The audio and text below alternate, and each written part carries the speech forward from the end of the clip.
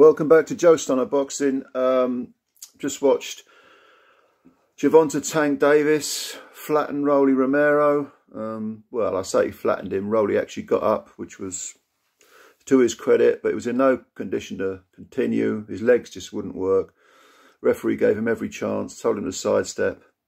Rolly couldn't do it. The ref waved it off in the sixth round, quite rightly. Good stoppage. Um, but until that point, it was interesting. Interesting fight. It was Tank didn't throw that many punches. I think the commentator at the end said he'd thrown about 29 punches in the whole fight. And of course, if you've got that type of wallop, uh, you only need one to land correctly and it's all over. And the undefeated Rolly had never been hit like that before. He probably doesn't want to be hit like that again. But it was interesting because I can't believe I'm saying this, but after four rounds, I had Rolly 4 0 up. And yeah, a couple of those could have gone either way, but I was scoring it live, just, you know, watching it and thinking, oh. First round, very, very little in it. Um, I think Rolly landed one right cross on the, the southpaw tank. Uh, and that, that literally separated the fighters from that particular round. Second round, there was a little sort of cameo where Rolly appeared at first to have shaken Tank. But in actual fact, I think Tank slipped and Rolly kind of got hold of him and tried to ragdoll him, and Tank ended up in the on the floor. But it wasn't a knockdown; it was you know pushed him down. Um, I gave Rolly that round. Third round, again, um, some decent work from Rolly. He was moving forward for the whole fight and trying to get close to land his ammunition. Tank was Tank appeared to be too patient, and in the third round, he actually threw a we tried to throw a left cross, I think it was, missed. And it grimaced really, really heavily. You know, like, oh, like he, he hadn't, it couldn't have been his hand because he didn't land a, land a punch, but it's, I thought it was his shoulder might be put out. And for a second you're thinking, whoa, what's going on here? Is this going to be an injury retirement? But no, kind of regrouped. He was okay. Fourth round, again, very, very little in it. I thought Rolly might have edged it. So that's 4-0 to Rolly, at least on my card. And in the fifth, I gave Tank his first round. I thought he was beginning to look sharper, beginning to open up just a little bit.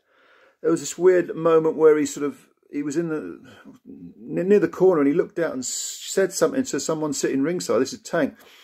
Said something and uh, afterwards he revealed, well, someone was saying, come on, open up, get moving, get moving. And I was thinking the same thing. And Tank said, no, no, no, no, no, you know, he isn't, he isn't cooked yet, you know what I mean? It's, I've got to wait for him. I've got to draw his sting a bit more. But of course, if you've got that tactic, there is that that that uh, possibility that you're sort of waiting too long. And um, and I thought mm, this is this is getting really really intriguing.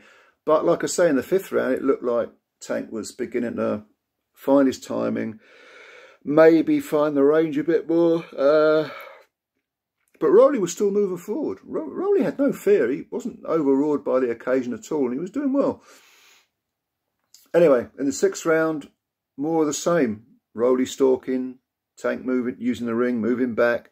Not running, but staying out of range, trying to time Rolly, uh, Rolly's little burst of energy. And sure enough, that's exactly what happened because, excuse me, it's late. What is it now? About six in the morning or something.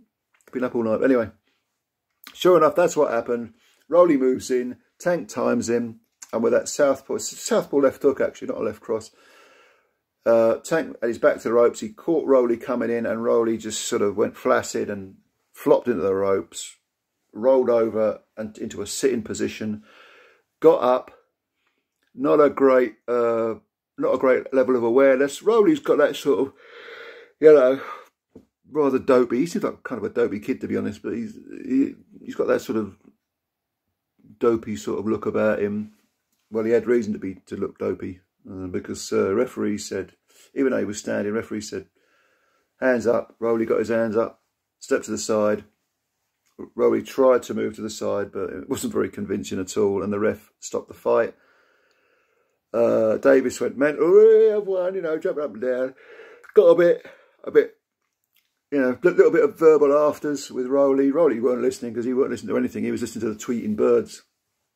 Uh, they sat him down, did the old light in the eyes, and then he went straight back to the uh, to, to, his dressing room. And Tank, yeah.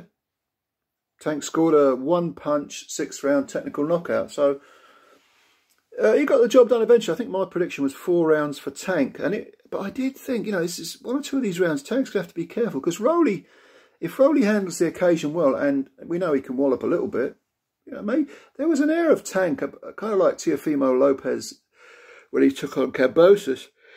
You know, maybe he's taking him too lightly. Maybe, you know. Um, but no, it, was, wasn't the case. He, he, took a little bit of time to warm up, but when he did, he got Rolly out of there, and that's to his credit. So uh, what's Tank going to do next? Is he going to stay with Mayweather Promotions, re-sign, or is he going to walk off into the sunset? We've had conflicting reports from his own mouth. Um, sometimes it's better the, better the devil you know, but Rolly thinks uh, Tank thinks he wants to take charge of his own career, like uh, you know Canelo does. I don't know. I don't know. Eddie Hearn said he's going to make a play for for Tank, offer him some like a decent wage, pay over the odds, as he said. Uh, we'll see, we'll see.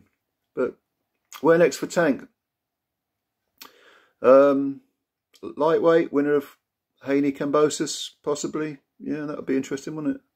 Maybe Tank will sign with top rank. I don't know. I don't know. Anyway, did you see the fight? What do you think? What do you think's next for Tank? Leave your comments below. And um, yeah, thanks for watching. If you're new to the channel, you can subscribe. Hit the subscribe button. Like the video. All those likes really help the channel. And certainly the subscribers help the channel. So if you could do that, I'd really appreciate it. And uh, I'll catch you later. Meanwhile, enjoy your Sunday. It's uh, in in the UK. It's the early hours of Sunday. It's now about six o'clock, I think. So wherever you are in the world, enjoy yourself. Take care. We'll speak soon. Bye for now.